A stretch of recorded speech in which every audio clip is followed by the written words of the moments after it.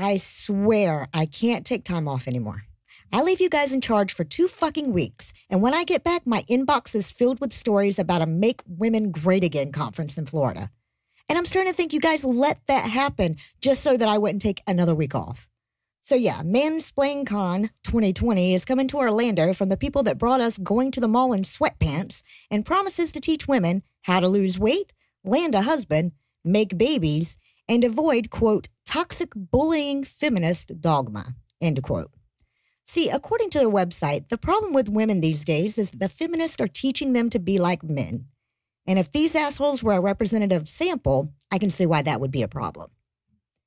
And if you want tickets to this all male speaker lineup, you better act fast, quick before they cancel it due to lack of interest.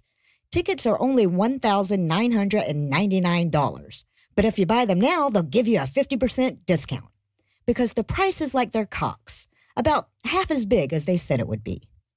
Unless I make it sound like sexism is more stupid than deadly, I should also mention the guy in Delaware that was arrested for throwing an incendiary device at a Planned Parenthood.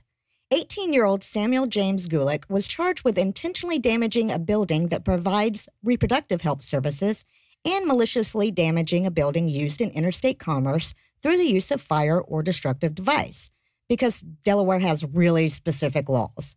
And apparently, he was also charged with possession of an unregistered destructive device about five days earlier when he was caught with an IED outside a different Planned Parenthood. Now, luckily for everyone involved, he's all kinds of stupid. First of all, he spray painted a slogan on the side of the building before he threw the bomb, in full view of their security cameras.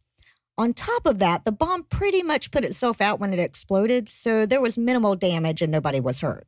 But there's only so long we can count on their stupidity saving our asses. And look, it's not like the anti abortion folks don't already know this is a byproduct of their rhetoric. Sure, this was the act of one single person, but everybody who has ever implied that abortion is murder shares in some of the blame. And they'll still share in it when the next idiot is successful and manages to actually kill people. But speaking of Planned Parenthood, I actually do have a little bit of good news to close on. According to Planned Parenthood's annual report, over the last couple of years, they performed a record number of abortions, up 4% from the previous two year period. And look, I get nobody is rooting for more abortions, right? Like, even the most ardent pro choice advocates don't measure their success in the number of terminated fetuses. But given the draconian bullshit the GOP is doing to restrict access, it's damn good sign to see that the number is still on the rise. And it also means more snacks at the next American Atheist Convention. And on that brief glimmer of good news, I'll wrap things up and hand you back over to Noah, Heath, and Eli.